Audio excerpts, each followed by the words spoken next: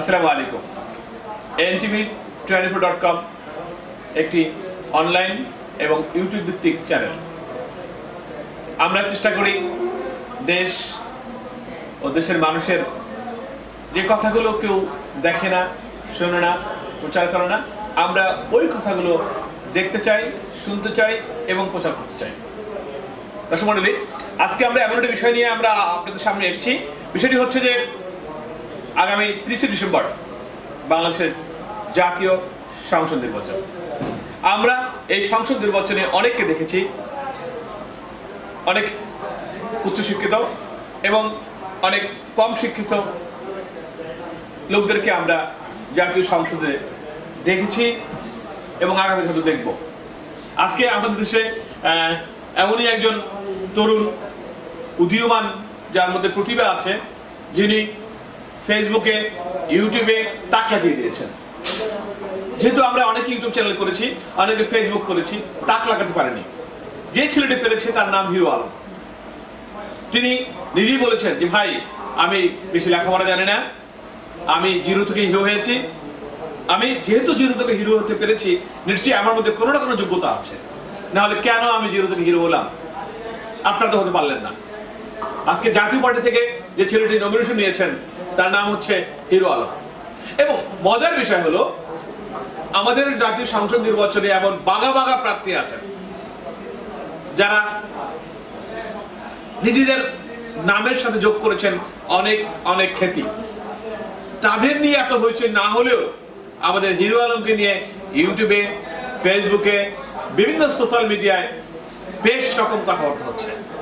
আমরা চাই এই হিরো আলম যেভাবে এগিয়ে যাচ্ছেন আমরা দোয়া করি, আমরা প্রত্যাশা করি এই হিরো আলম জাতীয় সংসদে নির্বাচন নির্বাচিত হবেন এবং দেশ জাতিকে দেখিয়ে দেবেন যে হিরো আলমরা আসলে কি পারে এবং কি পারে না। আমাদের দেশে বলা আছে যে শিক্ষা জাতির মেরুদণ্ড। মজার বিষয় হচ্ছে যে যে যত বেশি শিক্ষিত হয়, সে তত বেশি দুর্নীতিবরণ হয়, এটা আমরা বাস্তব ক্ষেত্রে দেখেছি। কিন্তু একজন অর্ধ শিক্ষিত মূর্খ যখন টাকা পয়সার মালিক হয়, সে কিন্তু দেশের জন্য কিছু করতে চায়, এরকম আমরা দেখেছি। তা আমাদের প্রত্যাশা থাকবে, হিরো আলম যেভাবে হিরো হয়েছেন, আগামীতে বাংলাদেশ জাতীয় সংসদে সদস্য নির্বাচিত হয়ে ঠিক ওই রকমই হিরো আলমের পরিচয় দিবেন এবং এলাকার উন্নয়নে, আইন প্রণয়নে দেশ ও জাতির জন্য অনেক কিছু করবেন, এই প্রত্যাশা আমি করি। করি এই জন্য যে আজকে আওয়ামী লীগ, বিএনপি জাতীয় পার্টি অনেক দল আছে। সেখান থেকে অনেকেই নমিশন পত্র কিনেছেন। আমাদের ইউটিউবের হিরো ফেসবুক চ্যানেলের হিরো হিরো আলম, তিনিও একটি নমিশন পত্র কিনেছেন। তাকে নিয়ে যেভাবে হয়েছেই হচ্ছে, যেভাবে কথা কাটাকাটি হচ্ছে, যেভাবে প্রচার হচ্ছে, আমার মনে হচ্ছে হিরো আলম এখানেই হিরো হয়ে গেছেন। আমরা চাই এই হিরো আলম যেখান থেকে নির্বাচিত করুক না কেন, সেখানকার সমস্ত লোকজন তাকে ভোট দিক এবং সে নির্বাচিত হয়ে দেখিয়ে দিক যে এই হিরো আলমরা অবশ্যই জনগণ এবং মানুষের দেশের সাথে প্রতারণা করে না। হিরো আলম সাহস করে যেহেতু তিনি নমিনেশন পেপার কিনেছেন, আমার দৃঢ় বিশ্বাস জাতীয় পার্টি থেকে তিনি নমিনেশন পাবেন এবং আগামী জাতীয় সংসদ নির্বাচনে তিনি প্রতিদ্বন্দ্বিতা করে জনগণের মাঝে ফিরে আসবেন এবং তার কাছে আমরা প্রত্যাশা করব, হিরো আলম ভাই আপনি যেভাবে এগিয়ে চলছেন, আমরা আপনার পাশে আছি।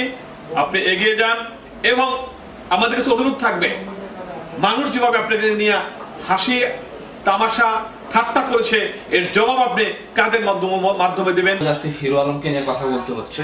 যদি আমি হিরো আলম সম্পর্কে খুব বেশি জানি না তার সাহসিকতা আমি মুগ্ধ। তার মতো একজন একজন লোক, অজর পাড়াগায়ের একজন লোক বগুড়া থেকে খুব সম্ভবত জাতীয় পার্টির মনোনয়নপত্র সংগ্রহ করেছে এবং তাকে নিয়ে খুব ট্রল হচ্ছে। ইলেকট্রনিক মিডিয়া প্রিন্ট মিডিয়ায় অনেক ধরনের কথা হচ্ছে তাকে ব্যঙ্গাত্মক অনেক কথা কথাবার্তা হচ্ছে।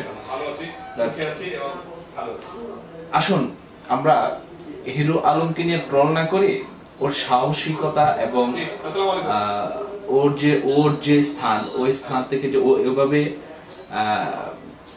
মনোনয়নপত্র নিয়েছে এটাকে আমরা সাধুবাদ জানাই। এবং আমি জানি না সে মনোনয়নপত্র মানে জাতীয় পার্টি থেকে মনোনয়নপত্র পাবে কিনা।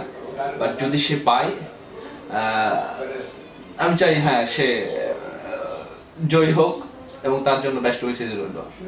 হিরো আলম জিন্দাবাদ। হিরো আলম ভাই আপনি এগিয়ে যান আমরা আপনার পাশে আছি থাকব। হিরো ভাই আপনি এগিয়ে চলেন আমরা আছি আপনার সাথে। হিরো আলমের সাহসকে তাকে আমরা স্বাগত জানাই। তার মতো হিরো আমাদের দরকার আছে। আজকে মধ্যে এখানে বিদায় নিচ্ছি আল্লাহ হাফেজ এনটিভি টোয়েন্টি ফোর পক্ষ থেকে। দেশ এবং দেশের সকলকে জানাচ্ছি শুভেচ্ছা, অভিনন্দন। আমরা আপনার পাশে আছি। আপনারা আমাদের সাথে থাকবেন। আল্লাহ হাফেজ।